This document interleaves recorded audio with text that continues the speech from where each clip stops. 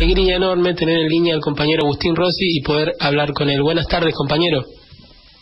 ¿Qué tal? ¿Cómo le va? ¿Qué dicen? Buenas tardes. Agustín, qué bueno saludarte. Sos de estos compañeros queribles. Te queremos mucho. Te hemos visto siempre en la primera línea militando. No nos conocemos, pero sos un tipo cercano y, querido en los barrios. Así que, bueno, es bueno empezar así. Y nada, que quiero consultarte a ver cómo, cómo estás viendo la coyuntura, cuál es tu análisis, qué, qué te parece que, que se está estableciendo como prioridad en términos de lo político.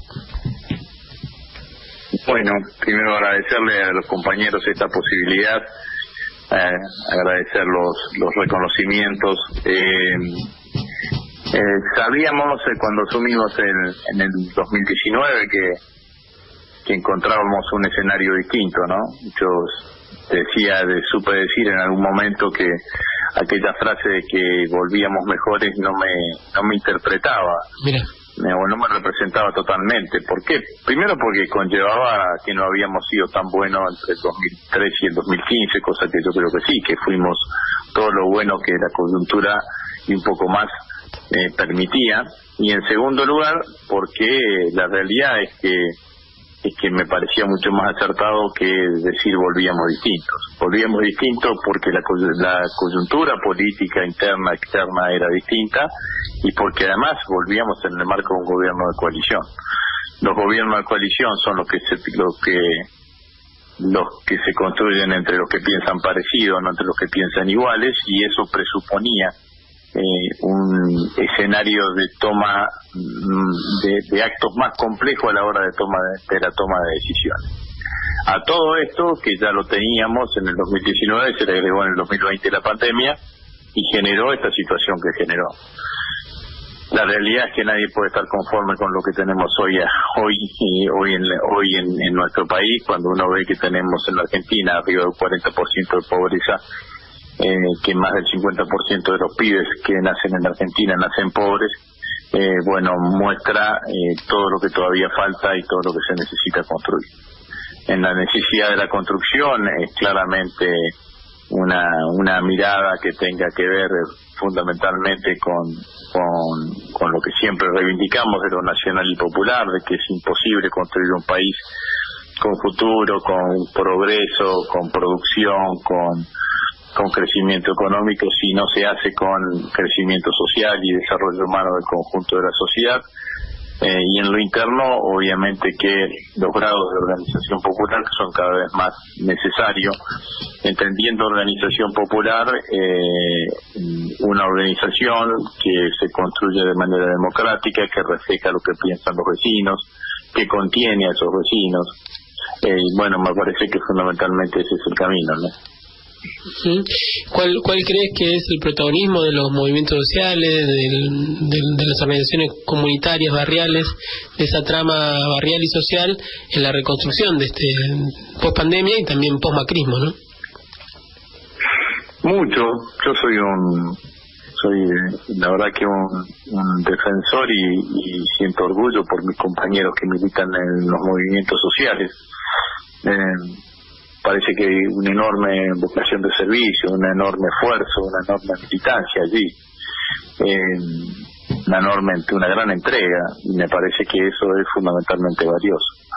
El desafío de las organizaciones sociales hoy es, eh, por un lado, no perder, no perder, perder anclaje territorial, no, no perder oído, ¿no? Claro. Y, y decir, no perder la capacidad de escuchar lo que demanda la sociedad. Y por el otro lado, tener una voz fuerte. Es decir, que escuchar al pueblo y transformar esa escucha en una voz fuerte que interpele al poder del Estado para que el Estado dé la respuesta que tenga que dar. ¿no? Me parece que ahí está fundamentalmente el desafío.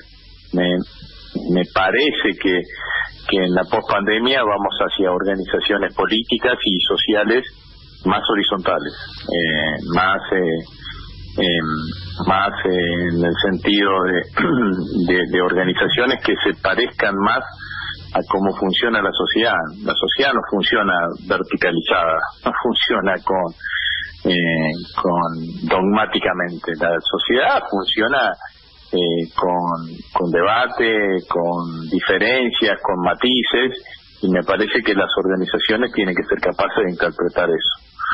Eh, por eso digo, es muy muy importante definir cómo es este doble mecanismo, eh, porque muchas veces eh, la política, las necesidades propias de la organización, las necesidades propias de la política, hace que en lugar de, escuchar al pueblo y elevar esa demanda de interpelación hacia los poderes estatales o hacia los poderes públicos, lo que terminamos haciendo es tratando de fidelizar una determinada decisión política que se toma en otro lugar. Eh, y, o imponerla a esa decisión política. Me parece que eso se puede hacer en determinadas y contadas circunstancias, pero mayoritariamente el rol de las organizaciones sociales es ser la escucha, es ser esto de, poder escuchar al conjunto de la sociedad y desde allí convertir esa escucha en una voz potente y que esa voz potente pueda interpelar al, al poder y desde su interpretación al poder salgan las políticas públicas que puedan satisfacer esa demanda que escuchó nuestro militante social. Es decir, tener una doble vía, ¿no? Sí, te escuchaba y mi viejo era, era un viejo militante de los 70, ¿viste? Y como de esa generación era muy eh, se ayornaban, pero siempre tenían como, como pisos fuertes donde se agarraban de esa época. Yo en algún momento cuando empecé a militar le dije, papi, nosotros somos cuadros insertos en la masa. Entonces me decía, ¿quién es la masa? ¿Tu vieja, tu abuela? ¿Quién es la masa, no? Eh, entonces esto que decías vos recién me, me, me recordaba eso, a veces como los militantes nos vamos de esa identidad que nos parió, ¿no? Bueno, eh, no no es fácil, ¿no? No, no, no, no es fácil ir sosteniendo cada una de las cuestiones y no es fácil ir ir, eh, parándose en ese lugar, digamos, ¿no? Eh, pero me parece que eso es lo que hay que hacer, simplemente.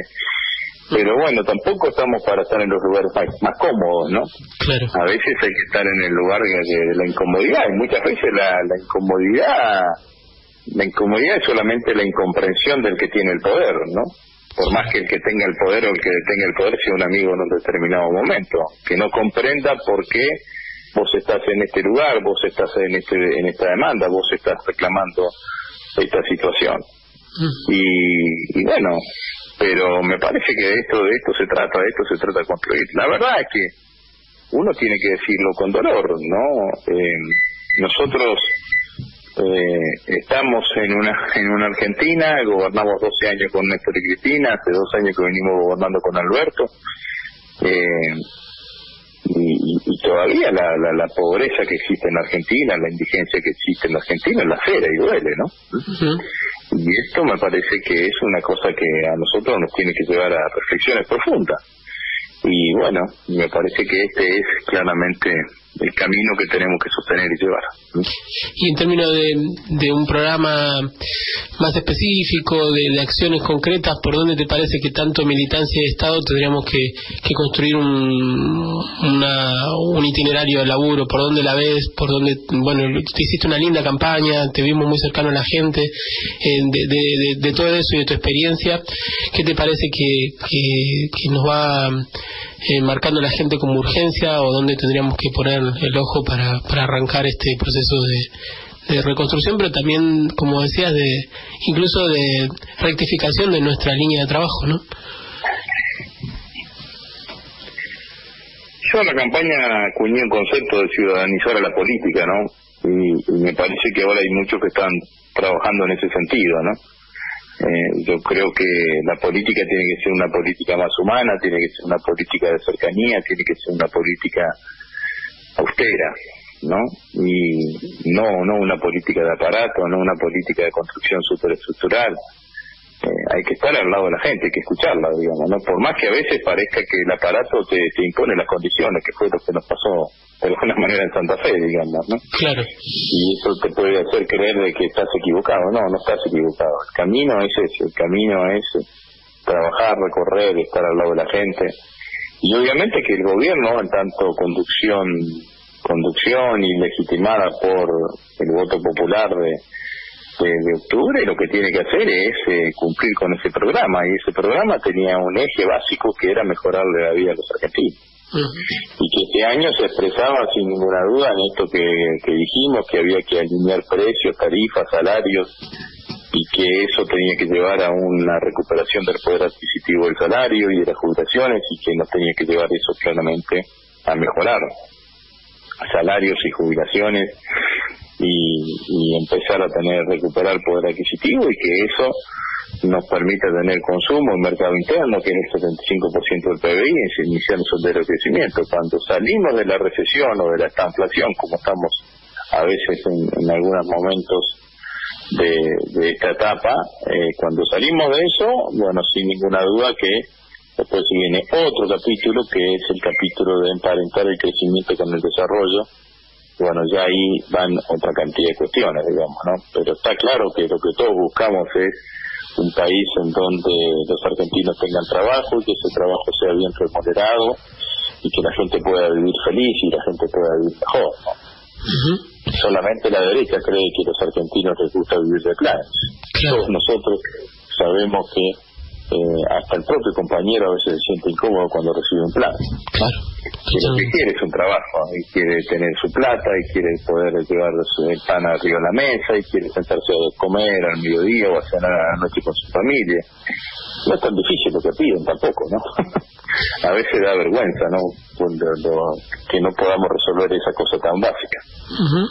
Agustín, ¿crees que mm, la que se haya mm, hecho público, que se haya visibilizado ciertas tensiones, discusiones, reflexiones, debates dentro de nuestro mismo frente, ¿fue algo saludable o fue algo que nos lastimó? ¿Cómo, lo, lo evaluás?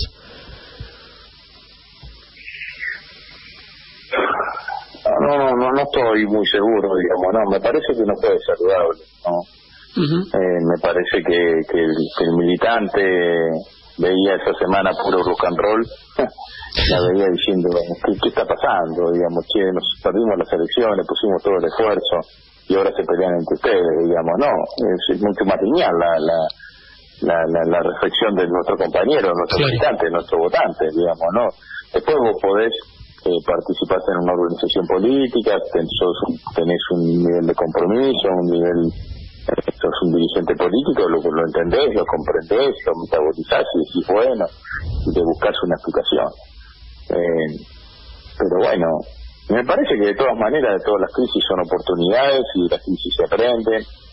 Eh, creo que, que, que, es, que, que en, en, algún lugar yo emparento esto con con esto que nos pasó a nosotros en Santa Fe, que fuimos a unas pasos y parecía que por el solo hecho de tomar la decisión de ir a una paso éramos casi considerados casi traidores, digamos, ¿no? Que habíamos desobedecido una orden que era listas únicas en todo el país. Y, y, bueno, en la provincia de Buenos Aires también, digamos, una cantidad de compañeros que presentaron listas que no se respetaron, ¿no? Como 70, 80 listas me dijeron que quedaron afuera, eh, que, listas de concejales en, en distintos lugares. Bueno, yo creo que fue un gran error eh, haber comprimido tanto el espacio político obligando a listas únicas en todo el, en todo el país. Eh, de hecho, en 24 de los distritos electorales, 17, en 17 de los 24 distritos electorales ganaron los frentes que tenían paso. O sea que los que utilizaron una herramienta diseñada, creada, protegida, promulgada y auspiciada por nosotros fueron los que eh, fueron los opositores que la utilizaron adecuadamente y que tuvieron mejores resultados que nosotros. Entonces, si vos comprimís tanto la presión y si no dejas que las diferencias, los matices se puedan expresar de la forma democrática, como se expresan en todas las coaliciones del mundo. El Frente Amplio Uruguayo elige su candidato a presidente por, por internas. Lo mismo hacía con la, pasado con la concentración democrática chilena. Si vos comprimís tanto es como una olla a presión llega un momento que, se, explota. Bueno entonces las diferencias que no que no quisieron que se expresen en, en el proceso de las pasos se terminaron expresando de manera de discusión pública de alguna manera en, después de la paso bueno. Entonces me parece que, que eso invita a una reflexión. Una coalición es una coalición con matices entonces yo no digo que haya que alentar que haya interna en todos los distritos, pero donde las hay, es las que excluyan y conducir a diversidad, no tratar de conducir una sola parte. La última, Agustín, para muchos pibes y pibas de los barrios que nos están escuchando y que mm, van viendo la militancia como, como una manera de, desafiar las injusticias estructurales, los, dolores por ahí que, que ven a su alrededor, ¿Qué es para vos la militancia? ¿Por qué aún con derrotas, a veces mal sabores y con victorias, por qué todavía seguís militando o nombrándote como militante? Es una forma de vida, es una elección de vida, ¿no? Es entender que, es la, actividad más importante de tu vida y que tiene que ver eh, fundamentalmente eh, con, con, varias cuestiones, digamos, ¿no? la primera de ellas es que nosotros decimos esa frase tan de Cristina y que nos identifica tanto que la patria es el otro. Y eso pareciese que uno milita por el otro. No, la verdad que por el primero que uno milita es por uno mismo. Porque te hace, te, hace sentirle y descubrir sentido a la vida, digamos, ¿no? Sentido a, a, encontrar lugares donde vos podés mejorar eh, la calidad de vida de los argentinos, donde poder mejorar las estructuras sociales, las estructuras económicas. Entonces, al primero que hace bien el militante es a uno mismo. El ser militante te hace mejor persona, capaz, digamos, ¿no? Y, entonces me parece que esto es lo que lo que hay que lo que hay que visualizar digamos no el militante no va en busca de resultados el resultado es uno mismo el resultado es decir, eh, yo estoy haciendo esto y estoy trabajando y estoy defendiendo esta idea y con esto me siento bien y me hace sentir bien conmigo mismo, digamos, ¿no? Entonces, de esto es lo que se trata, simplemente. No hay que pensar en los resultados, no hay que pensar en que si el otro entiende lo que vos decís, tienes que llegar al final del día y sentirte bien con vos mismo. Y esto me parece que es el ser un militante uno milita fundamentalmente para uno mismo, para ser mejor uno mismo. Ah, está buenísimo.